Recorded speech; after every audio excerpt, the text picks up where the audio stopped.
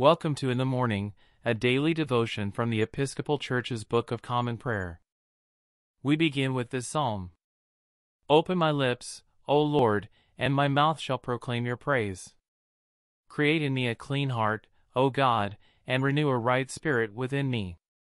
Cast me not away from your presence, and take not your Holy Spirit from me. Give me the joy of your saving help again, and sustain me with your bountiful Spirit.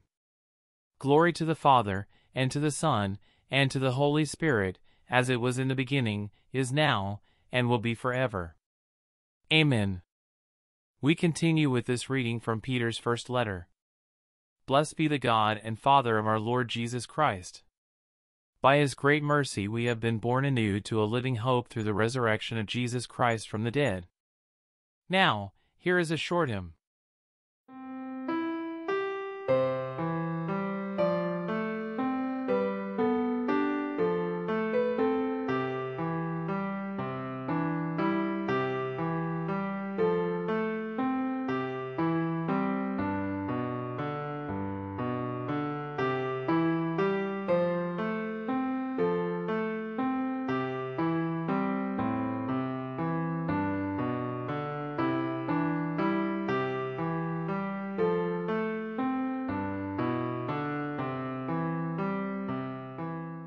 I invite you to spend a minute in silent prayer for yourself and others. At the end of the minute, I'll say Amen.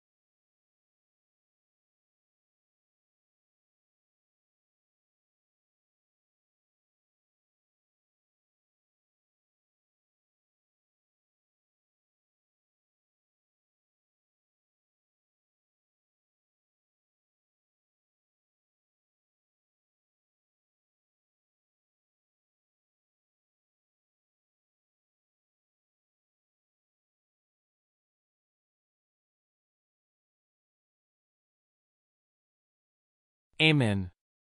Let's say the contemporary version of the Lord's Prayer together.